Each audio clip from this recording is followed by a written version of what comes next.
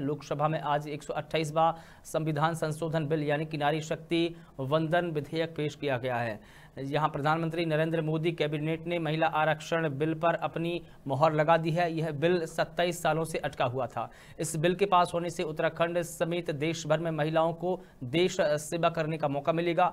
BJP महिला प्रदेश अध्यक्ष आशा नौटियाल का कहना है कि बीजेपी ने हमेशा मात्र शक्ति के उत्थान में काम किया है। वहीं प्रदेश की धामी सरकार ने नौकरियों में तीस फ़ीसदी क्षतिज आरक्षण महिलाओं के लिए दिया है। उन्होंने महिला आरक्षण बिल पर खुशी ज़ाहिर करते हुए प्रधानमंत्री नरेंद्र मोदी को धन्यवाद किया है। देहरादून से अवनीश गुप्ता की रिपोर्ट। देखिए, ये तो बहुत खुशी की बात है, प्रसन्नता की बात है। मातृशक्ति के लिए हम मोदी जी का मातृशक्ति की ओर से नमन और वंदन करते हैं उनको कि हमेशा से भारतीय जनता पार्टी ने महिलाओं को आगे बढ़ाने के लिए काम किया है। आप चाहे तैतीस प्रतिशत आरक्षण उत्तर प्रदेश जब हमारा था, तब महिलाओं के लिए पंचायतों में दिया गया।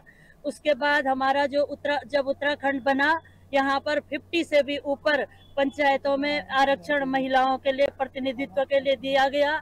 और उसके बाद हमारे अभी धामी सरकार ने सरकारी नौकरियों में 30 प्रतिशत, छत्तीस आरक्षण महिलाओं के लिए दिया।